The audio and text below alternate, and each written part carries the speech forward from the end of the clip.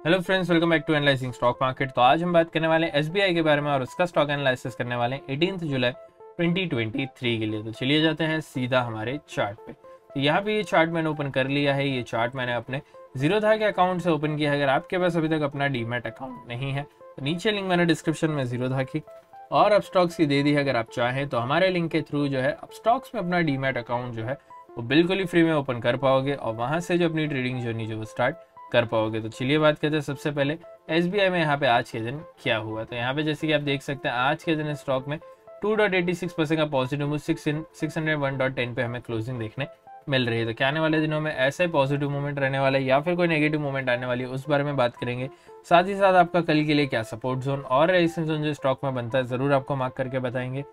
और यहाँ पे आज के क्लोजिंग के बेसिस पे हमें क्या लगता है स्टॉक में कल के दिन क्या हो सकता है, ज़रूर जो हमारा ओपिनियन भी देंगे। तो चलिए जाते हैं वनडे के चार्ट में बात करते हैं। आने वाले दिनों में हमें क्या देखने मिलने वाला है? तो यहाँ पे वनडे का चार्ट हमने ऑलरेडी ओपन करके रखा है। मैं बात करूँ वॉल्यूम की। एवरेज सा वॉल्यूम देखने मिला। कैंडल लार्ज साइज़ की बनी है। दोनों के साइड में छोटी छोटी विक एक तरह से देखने मिल रही है। आर एस हमारा सिक्सटी सेवन सिक्सटी एट के आसपास जो हमें यहाँ पे ज़रूरी नेगेटिव मोमेंट का इशारा देता है, लेकिन कई और सारे फैक्टर्स होते हैं उससे भी हमें कंसिडर करना चाहिए। सिर्फ़ और सिर्फ़ आर एस आई इंडिकेटर्स पर भरोसा नहीं कर सकते।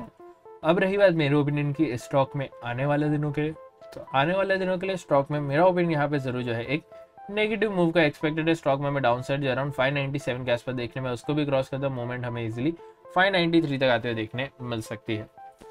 बाकी स्टॉक में ट्रेंड पॉजिटिव है तो पॉजिटिव ट्रेंड में मैं आपको ज़रूर रेकमेंड करूँगा। इंट्राडे में जितना हो सके बाइंग साइड की अपॉर्चुनिटी को ग्रैप करें, क्योंकि वहीं पे आपका रिस्क टू रिवॉर्ड रेशियो आपके फेवर में होगा। वहीं पे हमें प्रॉफिटेबिलिटी देखने मिलेगी। बाकी आपको क्या लगता है, आने वाले दिनों में क्या हो सकता है, हमें ज़रूर कमेंट करके बताना। यहाँ पे शॉर्ट टर्म और लॉन्ग टर्म के लिए क्या लेवल्स बनते हैं वो आपको बता देता हूँ। शॉर्ट टर्म के लिए अगर आपको बाइंग करनी है तो स्टॉक कभी भी आपको 587 या 588 के आसपास अगर दो दिन तक सस्टेन करते हुए देखने मिले, ज़रूर वहाँ पे बाइंग करें। वहाँ से आपको 5 टू 10 परसेंट का इजिली अपसाइड मूव जो है 10 टू 15 ट्रेडिंग डेज़ के अंदर देखने मिल जाएगा। लॉन्ग टर्म के लिए बाइंग करनी है करंट प्राइस में रेकमेंड नहीं करूँगा। मैं तो कहूँगा स्टॉक को आप आराम से गिरने दे। स्टॉक कभी भी आपको जो है यहाँ पे अराउंड 565 के आसपास आते हुए देखने में ज़रूर वहाँ पे बाइंग करें, लेकिन 100 परसेंट कैपिटल ना डाले। 20 टू 25 परसेंट तक आप कैपिटल डालें, बाकी कैपिटल आप होल्ड करके रखें, जब भी एडिशनल डाउनफॉल आपको 10 टू 20 परसेंट का देखने मिले, तब आप वहाँ पे एडिशनल बाइंग करें, याद रखना।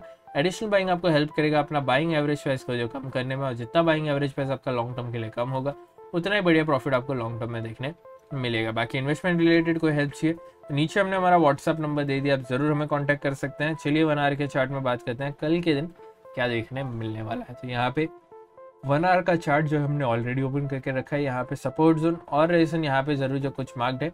यहाँ पे डिफरेंट जो है डेटा बना कुछ उस बेसिस पे, यहाँ पे मैं थोड़ी सी जो मार्किंग में चेंजेस जो करके रख देता हूँ। तो जो भी मैं चेंजेस करा, मैं चाहूँगा आप भी जो सेम टू सेम अपने चार्ट पे मार्किंग्स कर ले। बाकी अगर आपने अभी तक हमारे चैनल को सब्सक्राइब करके नहीं रखा है तो अभी के अभी हमारे चैनल को सब्सक्राइब कर ले।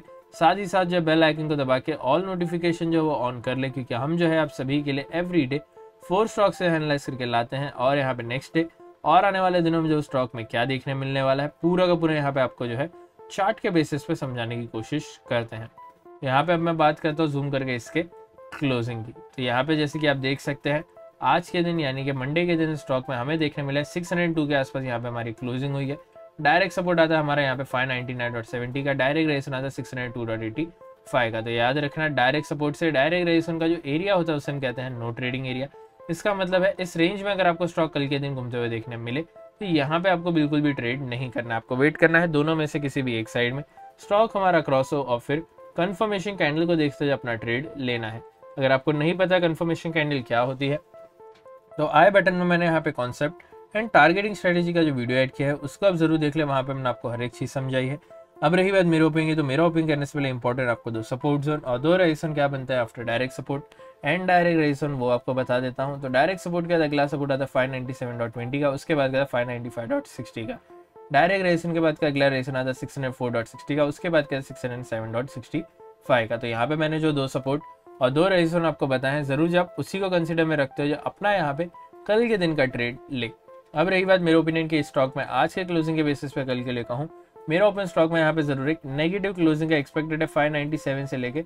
599.70 की रेंज में मैं क्लोजिंग जो देखने में, यानी कि एक नेगेटिव क्लोजिंग मैं कल के दिन स्टॉक में एक्सपेक्ट कर रहा हूँ। आपको क्या लगता है कल के दिन क्या हो सकता है? हमें ज़रूर कमेंट करके बताना। और अगर आपको हमारा एनालिसिस पसंद आया तो कृपया हमारे वीडियो को लाइक करें शेयर करें और हमारे चैनल को सब्सक्राइब करना ना भूलें। Thank you